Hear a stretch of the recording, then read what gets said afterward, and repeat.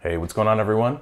I just got a great question emailed um, on how to move from a front end or back end dev position to a DevOpsy type of position. So, some kind of more DevOps, infrastructure, platform involved um, kind of career track or job.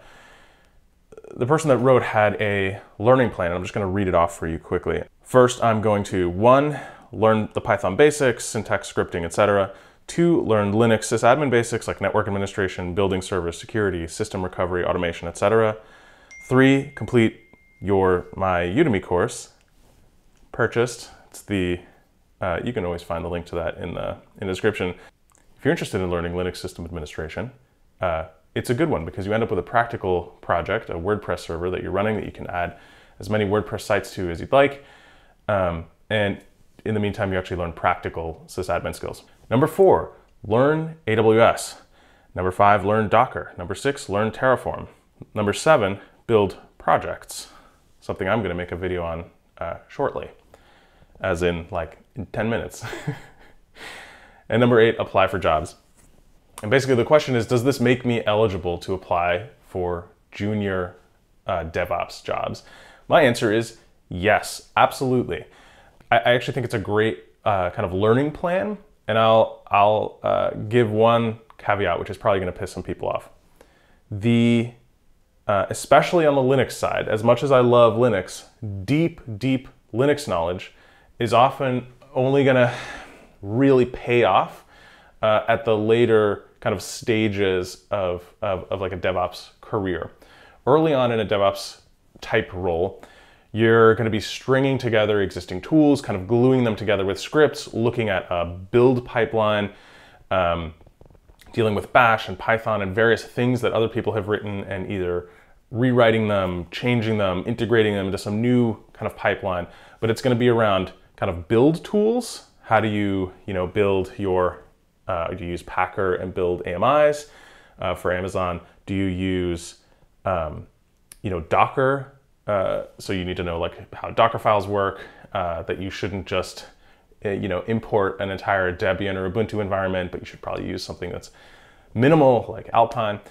You know, do you actually uh, use this sort of constantly updated live configuration on real long-lived instances like uh, using Puppet or Chef or that kind of or Ansible, SaltStack, that kind of configuration management stuff. Um, there's a lot of different approaches and just being able to distinguish between those approaches recognize what's being used and kind of adapt to that is is part of the part of the job. Um, and then really you're just you're a lot of it is stringing together tools at least at the first couple levels of this of this career track. So and here's the part that's going to piss people off. In this modern day and age where your employer almost certainly will be on a public cloud the the troubleshooting methodology is is often going to be like only the worst problems get get troubleshooting, get deep troubleshooting time from engineers because engineers are expensive.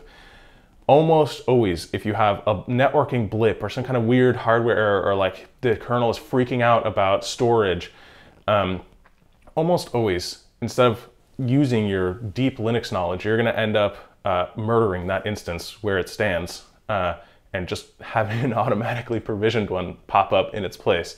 Uh, it will barely be a blip on your monitoring, much less an alert.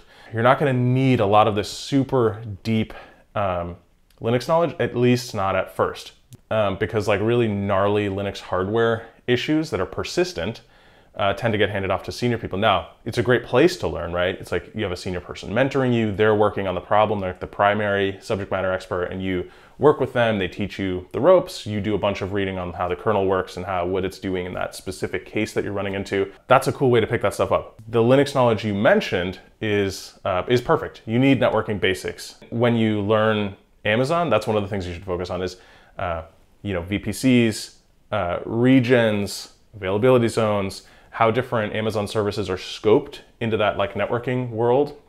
Is a resource regional? Is it uh, AZ specific?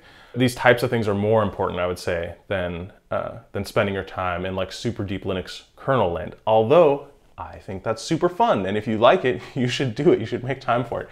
Um, but again, yeah, I think that's that's kind of where the the, the places are that have the biggest leverage uh, when you're getting into a junior DevOps position. So that's a very long and hopefully detailed and interesting answer to the question, which is is that kind of learning path uh, and that kind of skill set enough to land a junior position? Yes. And in the next video, kind of the question everyone's been dying for, but I want to make sure I give a really good answer so it deserves its own video. I'm going to talk about what types of learning and portfolio projects can you create that are actually compelling for um, hiring managers and technical interviewers that are going to be looking at your GitHub repo and hiring you for uh, DevOps related roles. I have been an interviewer, a technical interview hundreds of times. I've seen a lot of different uh, projects. I'm going to talk about that in the next video. What should you build to learn and to show off to get a good DevOps job? I'll see you in the next one. Uh, remember to like and subscribe. It helps. Uh, if you can share this anywhere, if you find it interesting, please do. Cool. Peace.